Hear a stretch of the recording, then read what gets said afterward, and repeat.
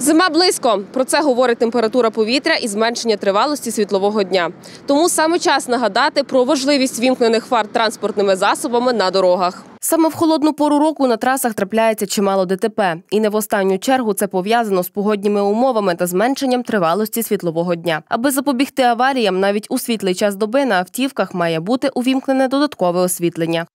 Значить, згідно пункту 9.8 правил дорожнього руху України, на всіх механічних транспортних засобах поза населеними пунктами повинні бути включені денні ходові вогні або ближнє світло фар в період з 1 жовтня по, по 1 травня. Тому що саме у цей період року е, частіше погодні умови, такі як е, дощі, туман, тобто умови недостатньої видимості.